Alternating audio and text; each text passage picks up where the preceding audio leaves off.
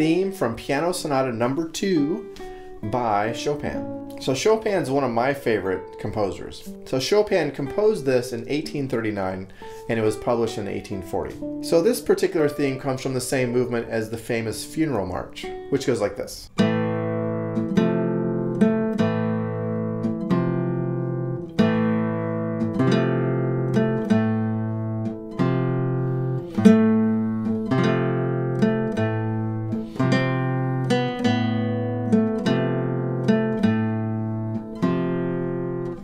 So on. So this arrangement comes from my second volume of easy arrangements, which you can find at my website. So check it out. So here's the first line very slowly.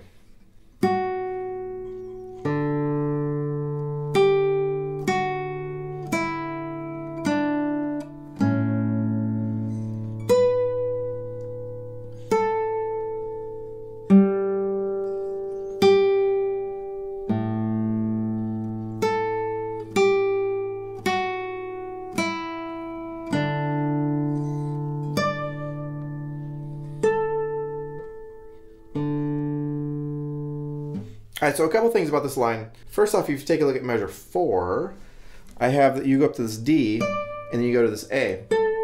Well, th this particular region on the guitar, it's very easy, or I shouldn't say it's very easy, but it's easier to get a very nice vibrato out of it. So I'll kind of lay into that note. So if I'm going from here,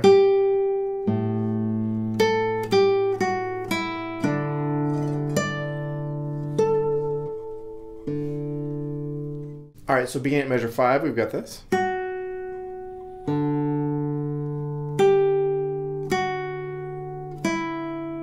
And I'll keep this finger down.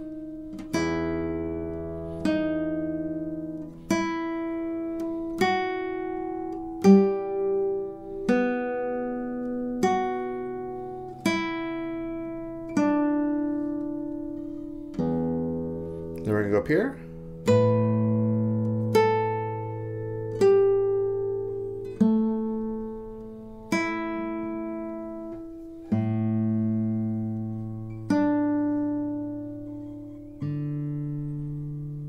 Uh, towards the end of that second line, I'll do a, another retardando. So I might go something like this. So if I play B in measure five,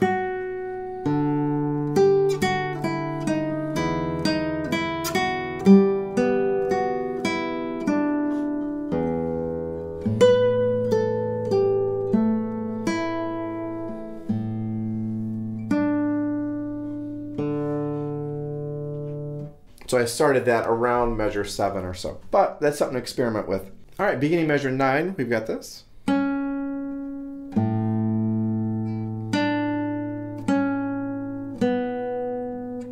Now I'll slide down.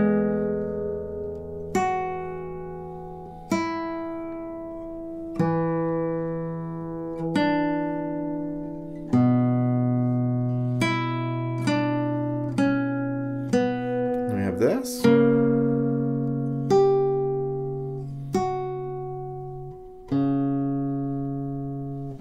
Two things about that. Notice, and I mentioned that as I played it.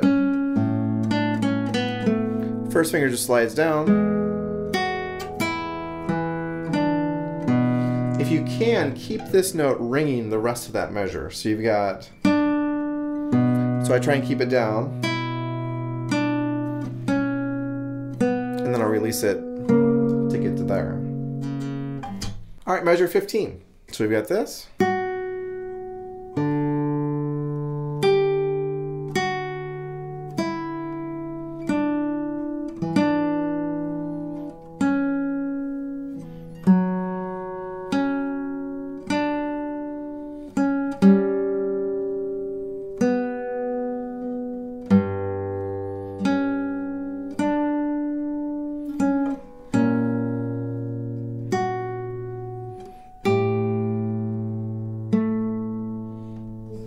All right, so one thing to watch out for this line is you have those dotted eighth, sixteenth figures.